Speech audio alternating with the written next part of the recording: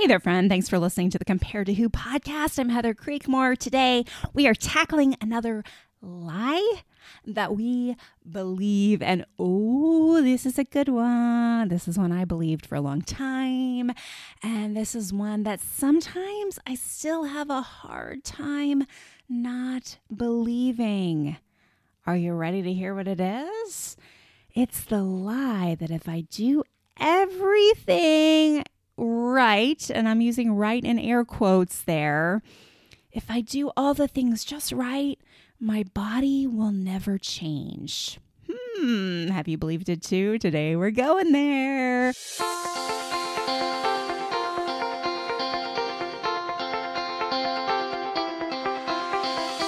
Welcome to Compared to Who, the podcast to help you make peace with your body so you can savor God's rest and feel His love. If you're tired of fighting body image the world's way, Compared to Who is the show for you. You've likely heard lots of talk about loving your body, but my goal is different. Striving to fall in love with stretch marks and cellulite is a little silly to me. Instead, I want to encourage you and remind you with the truth of Scripture that you are seen, you are known, and you are loved no matter what your size or shape.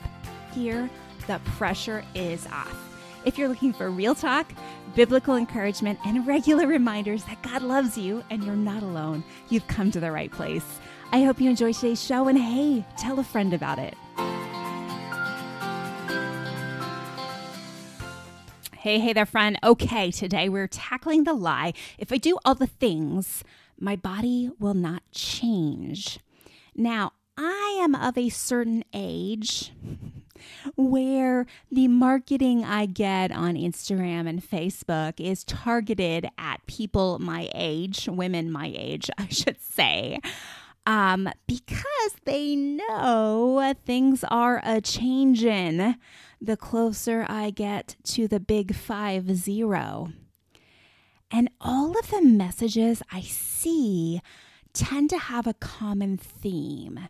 You won't change if think this has to be part of the change? No, it doesn't. If.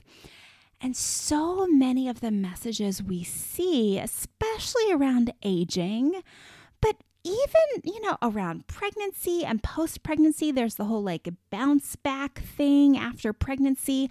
All of these messages are if you just do all the things that are prescribed in this plan, your body doesn't have to change. And I'm just going to throw up a big stop sign. Okay. I just want you to picture me throwing up a big old red stop sign like, pause, wait, stop. Is this true? Do our bodies have to change? Or do we have the power to stop them from changing. Friends, now just just pause with me a second. This is crazy town, okay? Our bodies are not made of plastic. You are not a red solo cup that came off of an assembly line that will remain a solid red plastic polymer for the rest of your life. No, your body is a living thing. And if you live in Texas in the summer, you watch the living things like grass and plants die when it's 100 degrees or more for 45 days in a row, right? We know that living things change. Your trees, they lose their leaves and then they get them back again. Your garden probably withers in the summer and then blooms in the spring. Maybe it dies in the winter and then blooms in the spring, right? Living things change. And oh, guess what? Your body changed already many, many times, right? Because you don't look anything like you did when you were five years old. And you don't look anything like you did when you were 14 years old. And chances are you don't look a whole lot like you did when you were 22 years old. And if you're much older than that, you didn't look like you did when you were 30 or 40. It's always changing. And friends, that's the way we were created. That is real life. Now, I want you to just pause for a second and think about what happens to girls when they hit puberty. Right? They change. Their hips get a little wider, they start developing. Their bodies don't look like they're the bodies of a little girl anymore because they're not. They are becoming a woman and their bodies change. How strange, how cruel, how just odd would it be to tell a 13, 14, 12, 11, precocious puberty is becoming a more popular, popular is not the right word, but a more common thing. How strange would it be to tell a little girl whose body is changing that she should do everything she can to keep the body of a little girl? That would be weird, right? Like you wouldn't do that. You know that her body needs to change so she can become a woman. Well, friends that are kind of around my age, headed towards the end of end of our fertile years, shall we say? Why is it weirder that we would change on the other end? It shouldn't be at all. Changing on both ends should be normal. The body of a 50 year old woman should not look like the body of a 15 year old woman, right? Likewise, what about the changes we experience at pregnancy? Right? Our bodies change to accommodate a baby, and then they change again after the baby's born or after the babies are born. And that is normal. Friends, we have to debunk this lie that our bodies wouldn't change if we were just eating all the right things at the right times and exercising in the right ways. It's just not true. It's not science. It's not Bible. It's just not true. We're going to talk about this more in just a second, right after this message.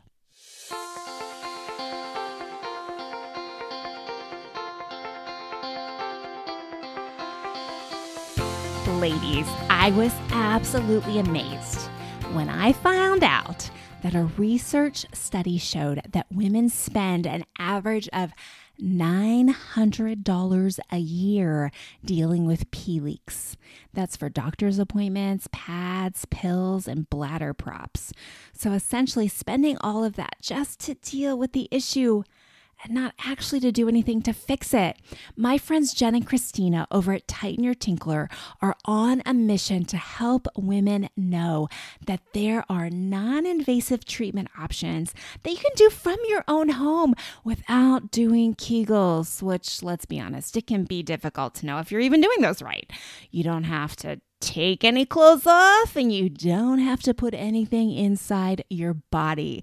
It's just a normal workout and it's gentle for every fitness level. Jen and Christina are passionate about helping women restore their dignity and self confidence because they personally understand not just the physical issues and embarrassment this can cause, but how this impacts your relationships and your ability to enjoy your life. I encourage you, head over to tightenyourtinkler.com, take their five minute quiz there, and just see if this is a program that might be right for you. And if you feel like it is, Jen and Christina are offering my listeners a special $50 off their signature program. All you have to do is enter Heather in all caps at checkout, and they will give you the $50 off as a thank you for being a listener of this show. Go check out tightenyourtinkler.com today. Hey, if you're dealing with these kind of issues, you don't have to deal with them forever. Go check out what they have to offer. It has worked for me, and I believe it'll work for you too.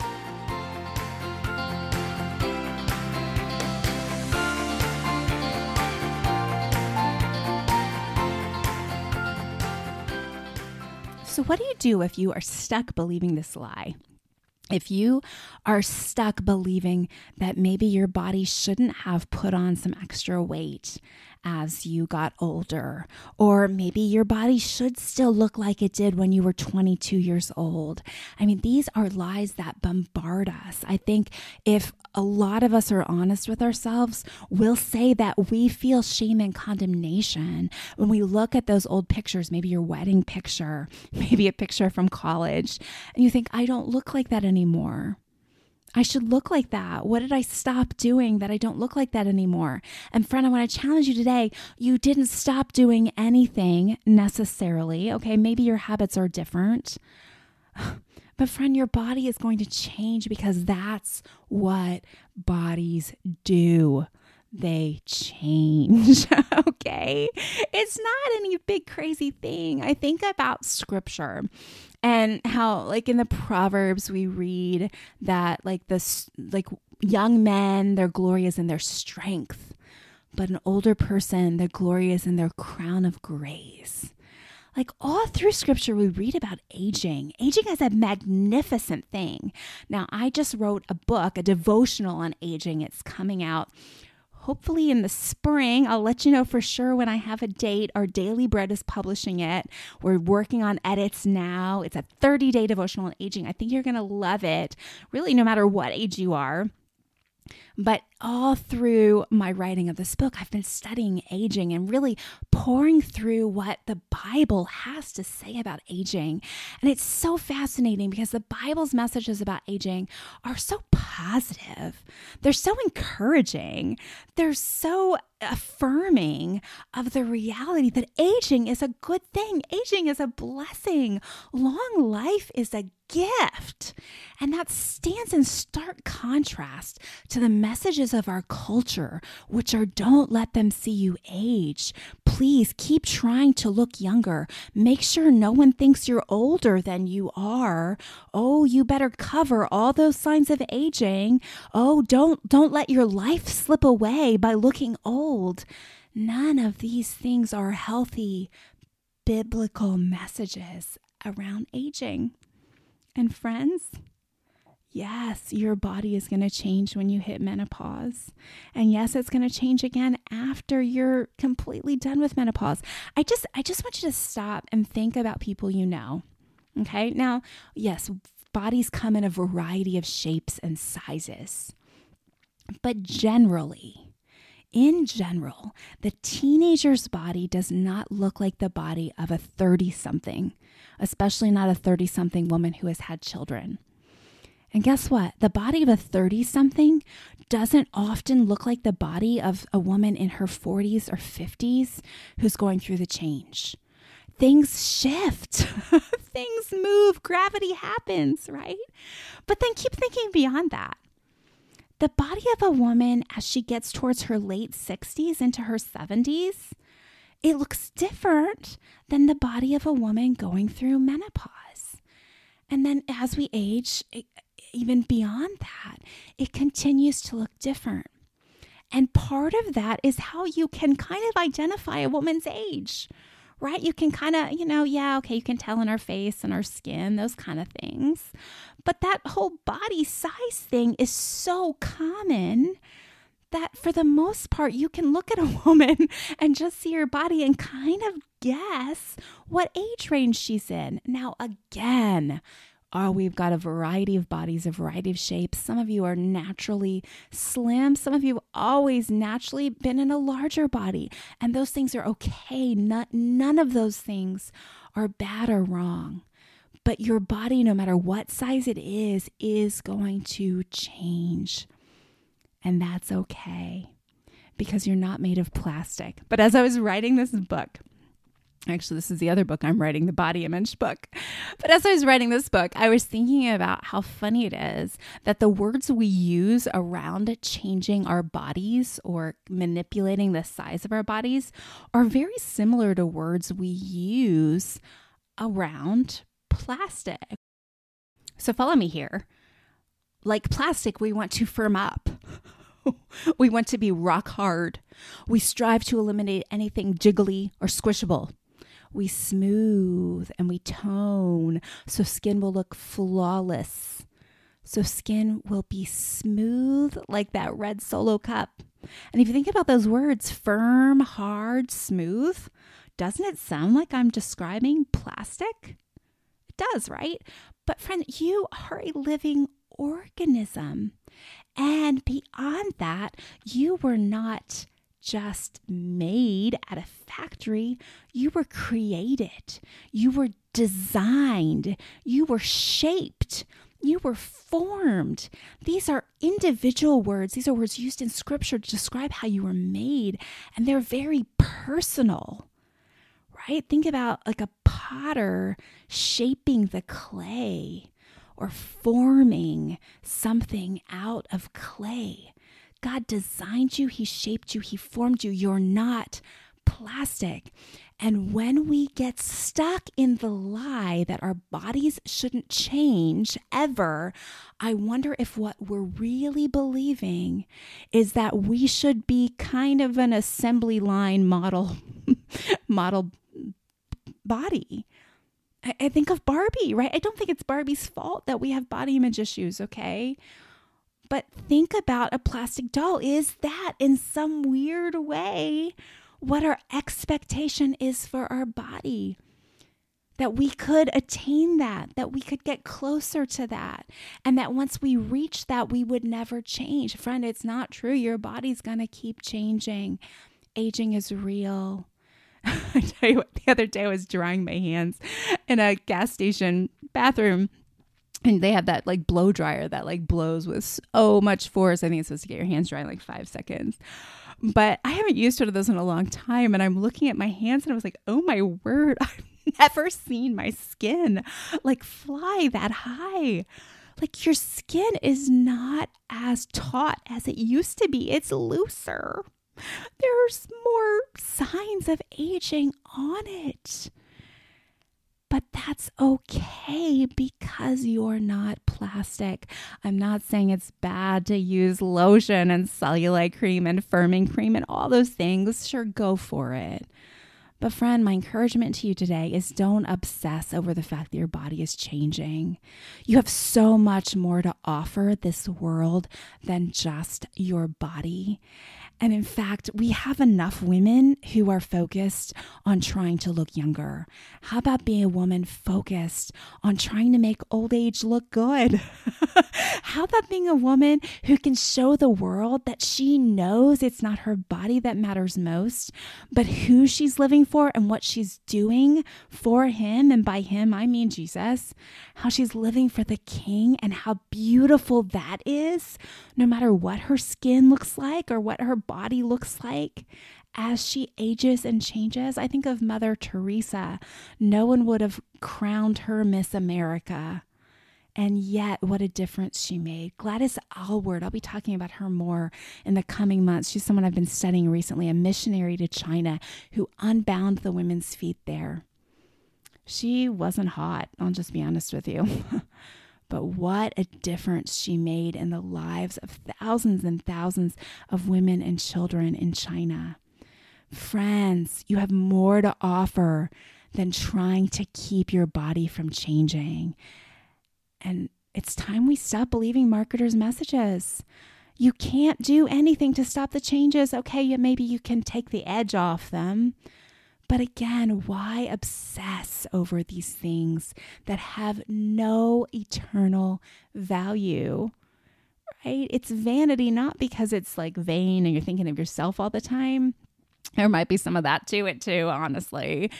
But it's vain because it doesn't last. Vanity is about something that is fleeting. Friend, you can try to keep your body as hot as possible through your 40s, but I promise you when you're 70, it's going to look different even if you stay in shape and eat all the things you think you need to eat, it's going to look different. So, what are you investing in? What are you obsessing over?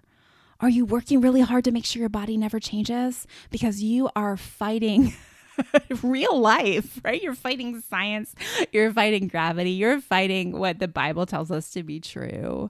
Friend, there are much, much better battles to win than that one. And frankly, can't win it.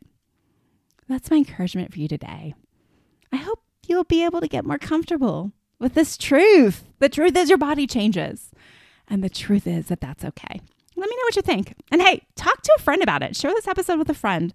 Say, hey, what do you think about this? Have you ever thought about this in this way? Because we believe the marketer's messages like so much. They come at us so frequently. It's really hard not to just accept it as truth. Because if everyone is giving you a different way to keep your body from changing, it seems like maybe this is something that's possible.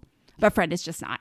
Okay, I'm going to leave it there today. I thank you so much for listening. I hope something in today's episode has helped you stop comparing and even comparing yourself to the younger you, my friend. I see you, I know you. stop comparing and start living. Bye bye.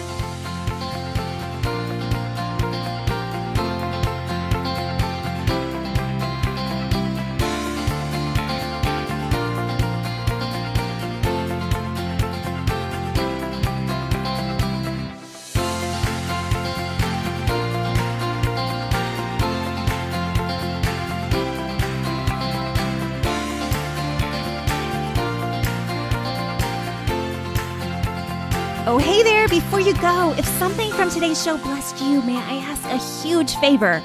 Leave a review on your favorite platform. Seeing your five star reviews is a huge encouragement to me. Not sure how to do it? You can go to comparedtowho.me slash podcast, scroll to the bottom, and you'll find all the information. And while you're at comparedtowho.me, check out some of the more than 500 articles on there about body image, comparison, all the things you're thinking about.